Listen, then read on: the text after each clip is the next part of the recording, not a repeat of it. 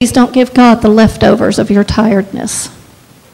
Reverence demands you being alert when it's prayer time. And get creative in your praying. Get out of your middle ruts and understand silence. For you to be silent and understand the silence of God, that is no excuse for not praying. We're going to do a little exercise here. And I'm not going to take long with this. Sometimes I do, but the number just, we don't have much time. We got to hear Miss Tenney tonight. Think of a problem that you've been praying over. Everybody close your eyes. I want you to think of a problem that you've been praying over and you really, really need an answer from God. Put it in your mind. Now I want you to pray this prayer with me. You can repeat after me. Lord Jesus, cleanse my mind from distractions. Cleanse my heart from any sin. Forgive me for anything I've done today that would keep me from hearing your voice.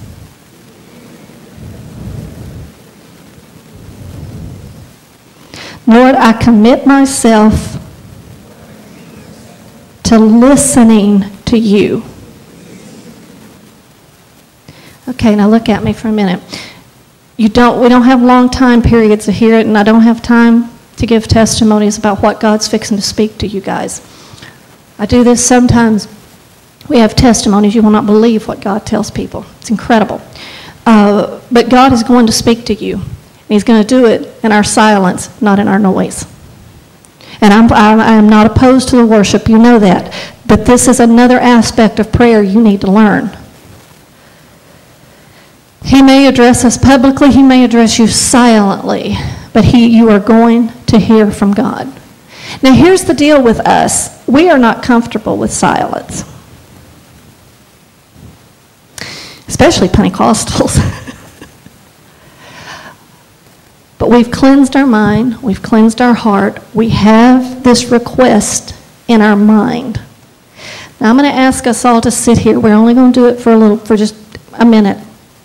We're going to sit in silence as we're cleansed vessels, and we're going to ask God, speak to me and give me that answer. Because you know what? Just like when, when my kids come to me and say, hey, can I have $5 to go to McDonald's? If I have $5, I'm going to give it to them. You know, or can, can I have my lunch money at school? no, no food for you today. I'm going to do that. Can I tell you, God wants to talk to you just that much?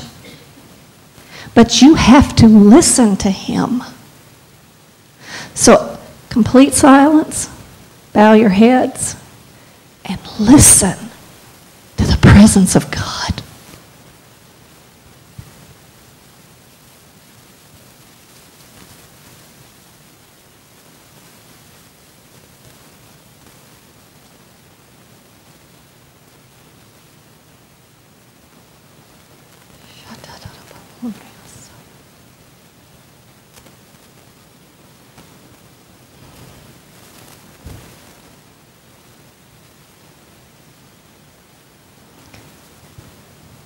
And it doesn't take long.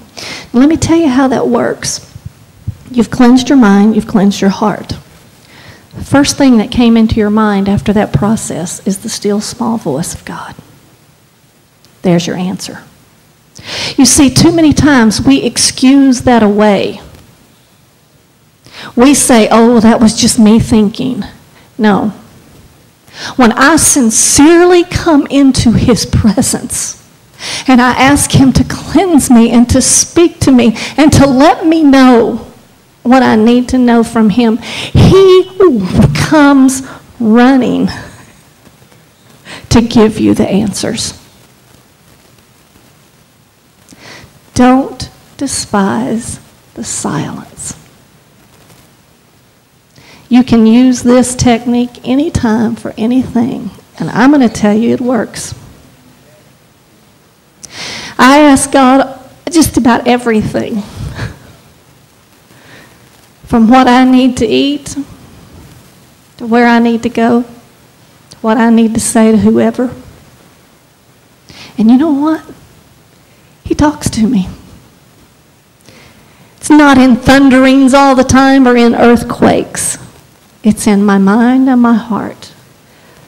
But when I have my mind and my heart, and He is always set before me, as David says, I don't have to fear. He will lead me through every situation. Thank you, my mother.